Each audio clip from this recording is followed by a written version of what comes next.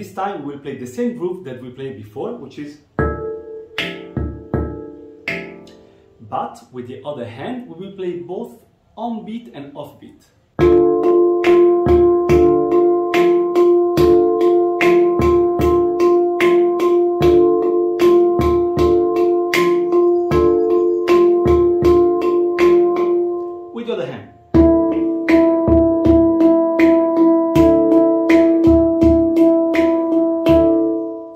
Scale